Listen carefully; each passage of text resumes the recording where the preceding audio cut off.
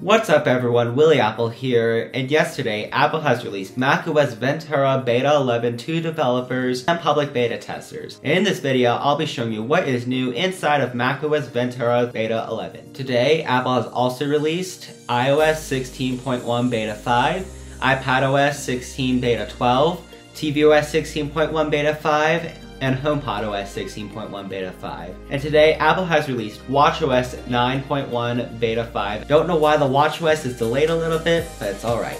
So unfortunately, we did not get a whole lot inside of macOS Ventura since we're nearing the end, but I'll be showing you the build number right now. Checking my settings, the build number is 22A5373B. So we have a B at the end of the build number, which indicates two things. We will either have one more beta next week and then the RC and final release the following week, or we'll just get the RC next week if it's smooth enough. The B at the end of the build number indicates that Apple is not 100% sure if this is ready to be the final beta. And if you were to take a look at some app build numbers, we got 8 out of 50 of the apps on macOS updated, so this is all based off of all the apps in the Launchpad right here, all the default ones. I do not count the DVD player or anything deprecated. I only count the apps that are inside of the Launchpad right here and the Apple Silicon firmware version is 8419.41.10. So we got a little minor update right here from Beta 10.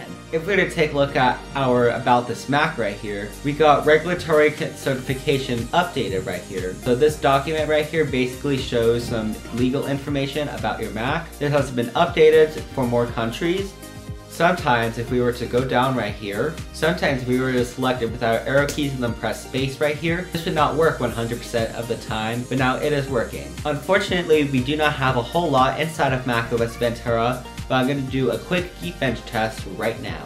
Alright, if we were to take a look at our new Geekbench score, we got a 1754 on the single core and a 7662 on the multi-core. This is our best score so far, 1760, 1778.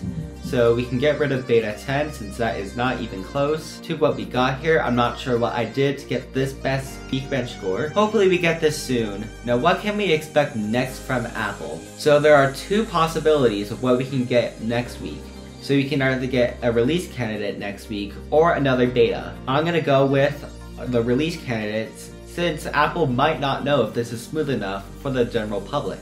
In my opinion, it is smooth enough. It is faster than Monterey. So I'm going to guess a release candidate on Tuesday, or if we get Apple event invites tomorrow, that is still a possibility for the 19th right here, we will get the release candidate on the 19th.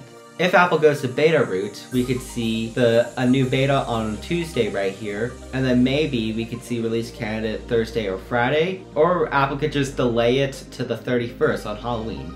But to be honest, I kind of doubt it. And if Apple was unsure about it right here, Apple would have updated their preview page right here to say in November. But as of right now, this still says coming this October. Now, I don't think Apple really wants to delay macOS and iPadOS again. So that is why I am saying we're gonna get a release candidate next week, and the final release will be on the 24th right here. Thanks for watching this video on macOS Ventura Beta 11. Comment, like, subscribe, share this with your friends, and I'll see you in my next video. Bye!